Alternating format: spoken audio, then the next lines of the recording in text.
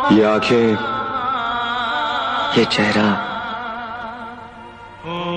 ये नूर, इंसान हो या परी हो तुम, कितनी फुर्सत से बनाया होगा तुम्हें बनाने वाले ने।